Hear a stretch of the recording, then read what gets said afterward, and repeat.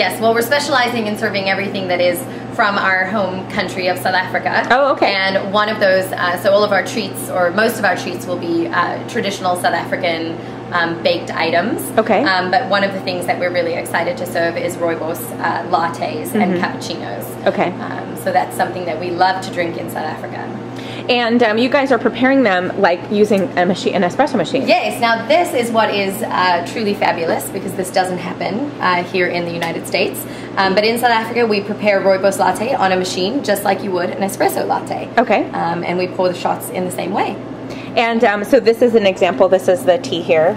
Yes, that is the tea. And um, will you just show me how you kind of prep it and stuff? Well, sure, yes. so the tea is prepped um, like you would. Thank you. didn't, get, didn't get to do that.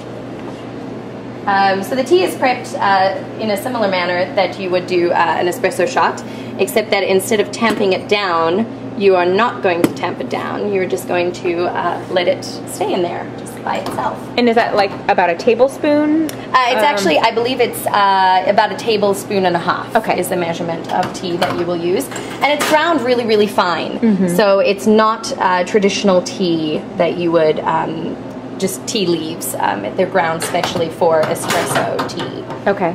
And do And- you grind that yourself? No, we don't. We actually get this from a company in South Africa that um, we order it from. Okay. And We don't want to give away your trade secrets right No. No. but you're importing it directly from there, and they're preparing it for this. yes style of yes, prep. They Okay. are. They are. And uh, and so then you'll just go ahead and you'll uh, you'll pull a shot, um, just like you would. And you didn't a tamp. I did not tamp. And it comes out. Uh, you know, it has it has a similar look to an espresso shot. Mm-hmm. Um, it has the crema on the top, and then you know the body and, and the hot at the bottom. Um, And the are we doing two of ounces, basically one ounce each? Uh, yes, one ounce each. Um, because we're doing, I, I guess you would put less if maybe you weren't doing a 16 ounce, um, but our standard size is going to be a 16 ounce drink. So that'll go. That'll get uh, two shots of rooibos espresso in it. So why do I want to drink this? Well, rooibos espresso is pretty fabulous um, in terms of flavor. Okay. Um, it's it's kind of got a full body tea flavor. Um, it's naturally caffeine free, which is wonderful. Um, and then it also has it's very high in antioxidants because of the way that it's ground and the amount that it's pulled through. Um, so it's about five times the antioxidants of green tea. Okay. Um, so that's something. So it's good for you and it tastes good. It's great before bed. Um, it kind of relaxes you and, and puts you in a good space, and it's just tasty.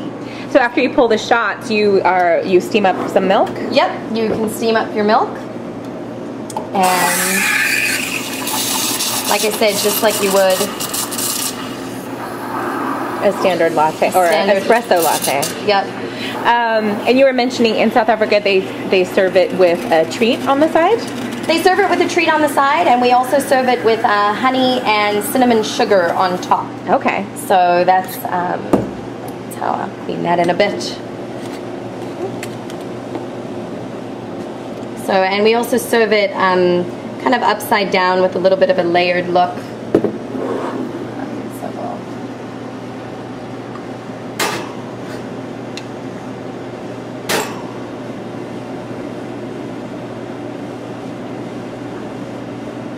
That's just fun to watch. Mm-hmm.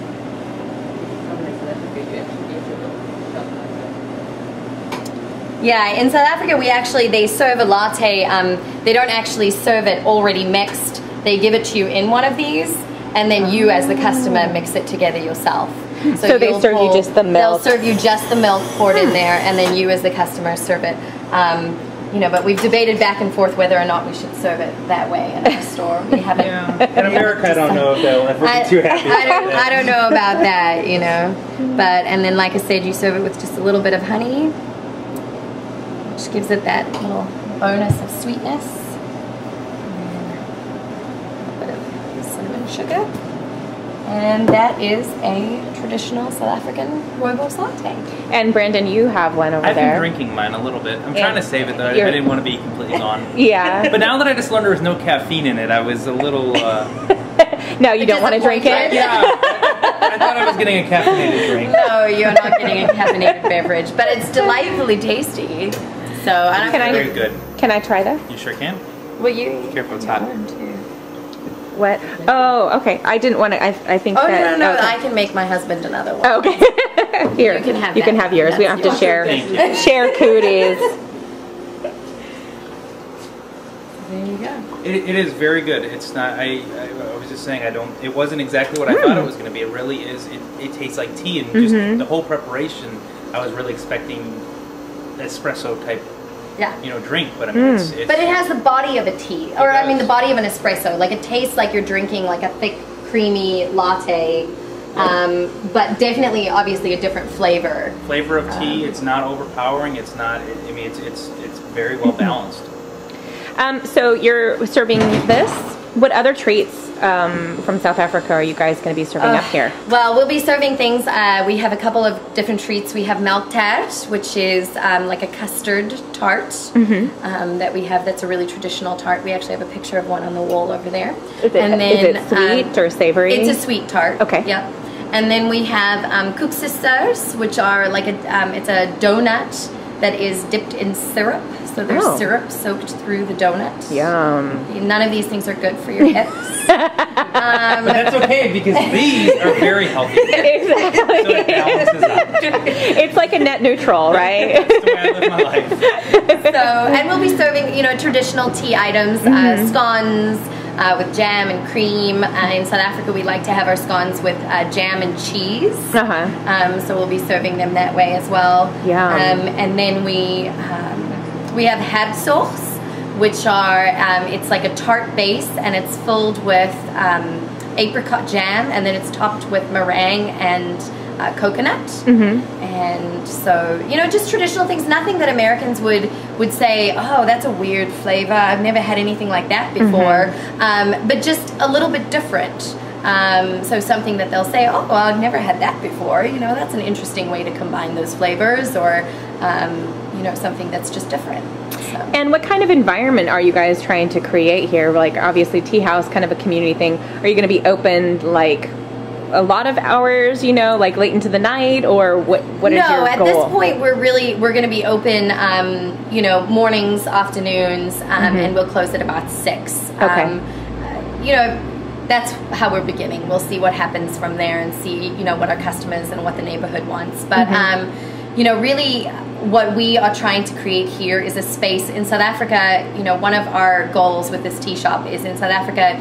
At tea time, at four o'clock in the afternoon, everyone stops everything, and you go and you have tea. Mm-hmm. And you don't just grab tea at a Starbucks. You don't just run out the door. You sit for about an hour, and you enjoy your tea with your friends and your mm-hmm. family or whoever you're with, and you take a break.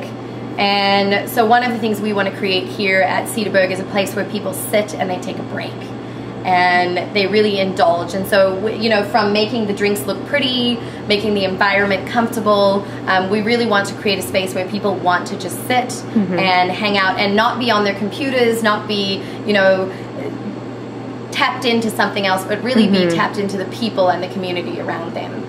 I can get So behind anything that requires a work stoppage at four o'clock. Yes, work stoppage, four This o'clock for an one. hour. Four, four o'clock pushing anyways, it. but now he's, at, he's, he's usually good till about 1.32 p.m. every day. Then you just let him go.